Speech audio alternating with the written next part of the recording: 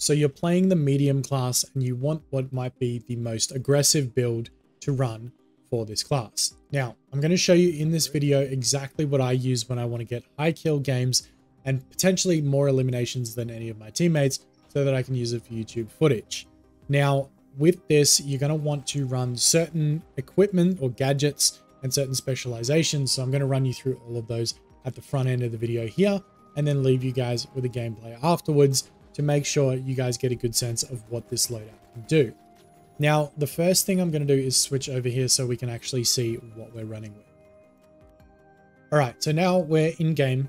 We have everything that I use on screen here. So if you want to quickly take a screenshot and leave the video, that's fine. But I would appreciate if you guys stayed and watched because the more you guys watch, the more it helps me out in terms of getting this video out and helping more people. So essentially I start with the specialization of recon senses. Now you can always run the guardian turret or the healing beam, but if you want to be aggressive, this is definitely the way to go.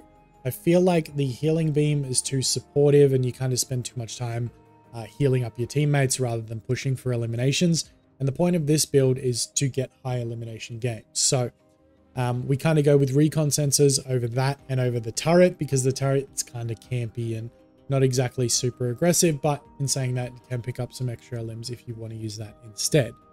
I know they did recently nerf recon senses, but I think in my opinion, it is still the better of the three if you want to play aggressive the way I prefer to play it. As far as primary weapon, I run the FCAR and I do believe that this is the best weapon in the entire medium class. Yes, you need to hit your shots. Yes, you need to be accurate and not miss many bullets. But if you do, you're going to eliminate enemies so quickly. If your aim isn't the best, I'm going to be dropping an aim settings video soon. So let me know down in the comments if that's something you guys might want to see. I'm thinking about doing it in the next couple of days. So if that's something you might want, make sure you're subscribed as well. Um, but if you're not having very much luck with the FCAR, I would switch over to the AKM.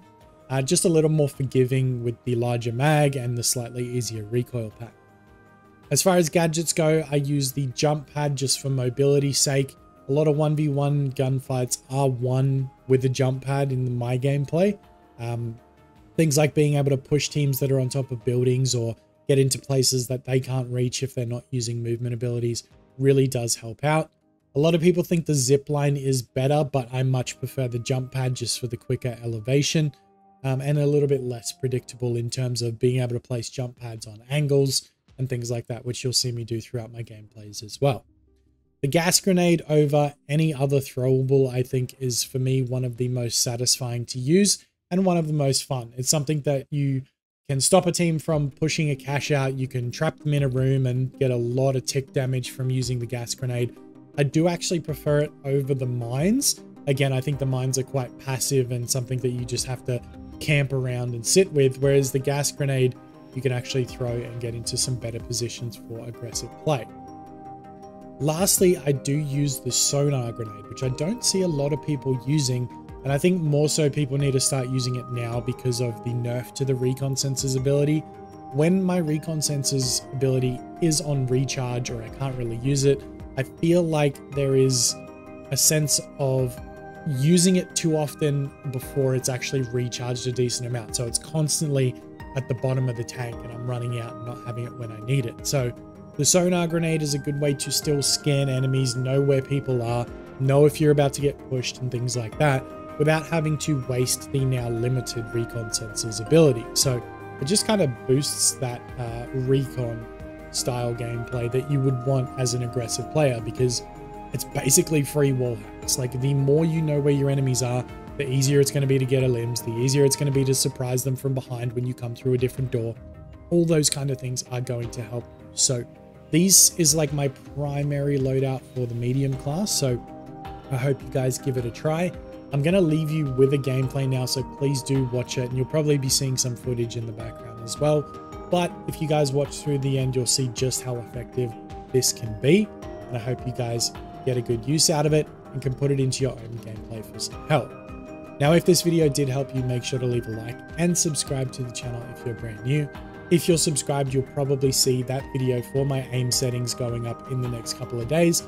So make sure you let me know down in the comments if that's the video that you guys are waiting for, and I'll get to it as soon as I can. with that said, I'm going to leave you with the gameplay. Thank you guys so much for watching another video, and I will see you in the next one.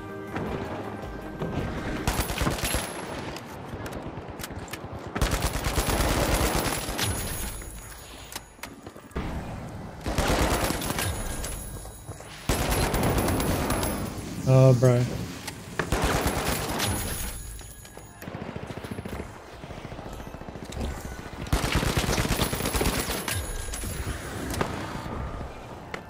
One more. Got him.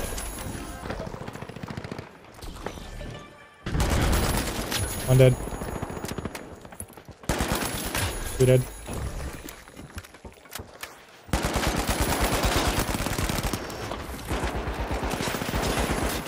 Oh, my bad. It's my guess.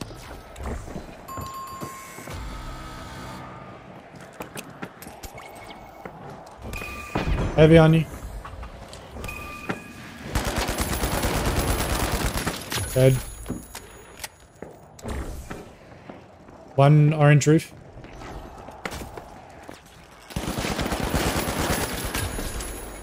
On the objective.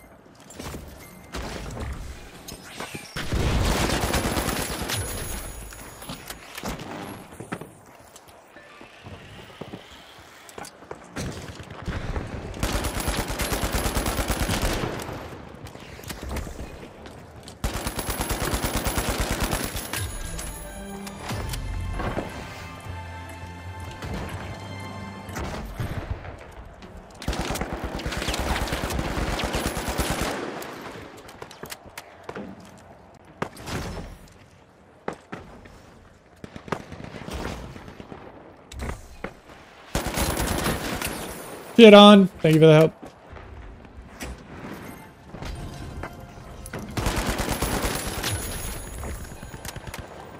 Probably true.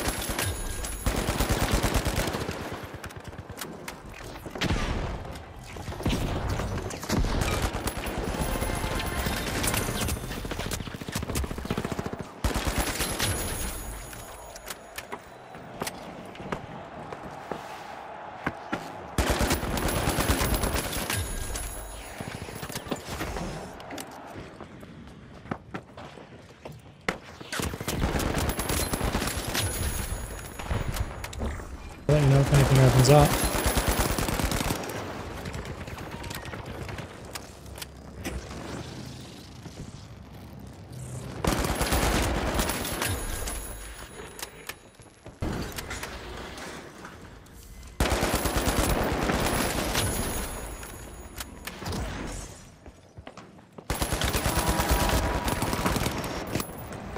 One shot.